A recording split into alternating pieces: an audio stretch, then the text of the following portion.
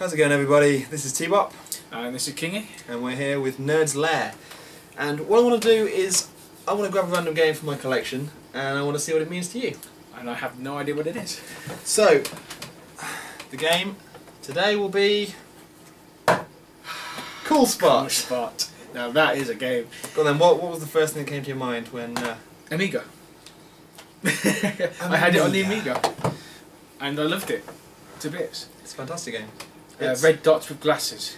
it's the way forward, isn't it? I'm surprised No, no, that's one has done it since. Uh, th- th- back then they knew how to do characters. Uh, let's start with the, the blurb from the back of the box. Just a second. Um, I remember correct. Uh, he was used as the mascot for. No, he wasn't. It was Zool that was used as mascot. Yes, for, Zool. Uh, Everyone Amiga. gets those games mixed up. Zool Yes. and Cool Spot. It was sort of a, it was a really good time when platformers were just being fantastic. They, they were Mm. just getting really good.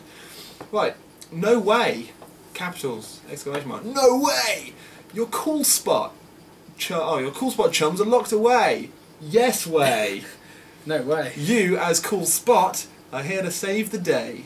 Quit gawping over the dreamy scenery, the awesome animation, and most savoury sound around. Play.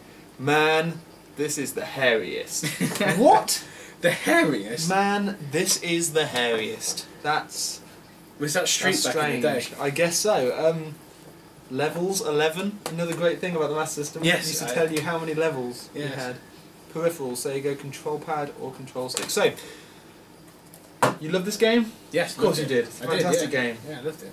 Did you have anything else other than? Uh, No, I only had it on the Amiga. I, I mean, I own it on the Mass, on the Mega Drive, and the, I'm not sure if I got it on the Master System, but I had it on the Mega Drive. Mega, I think the Mega Drive was the best version in, in my opinion. uh, but yeah, I, no, Amiga. Amiga was uh, superior to all these consoles. Honestly, you should you should you should get your hands on the Mega Drive version. I've never played this version. I've had it for a while. I've never played it, but it was We should give it a bash. it never it never um any sequels did it? Cool spot. Uh, I think I had a second one. Yeah. Really? Yeah, I think so. Oh, okay. I don't think I've ever played it. Um, I remember everyone had the first one. Everyone everyone had played it. It was unforgiving as well. It was a it was a difficult game. Yeah. It was a very hard game. But just it's one of those ones that you can go back to. You know, I've, I've played it relatively recently and, and it's as good as it always was. Like I say, hard as nails. And there it is. Yeah, there is a cool, Cool spot too. Spot Two. When do you think Cool Spot Three is coming out? This is this is why we need the new generation of consoles so they can handle the the awesome, hairiest game. cool Spot Three. That, that's that's, That's all I'm that's hoping incredible. for. It's a quality game. Cool Spot. What do you think?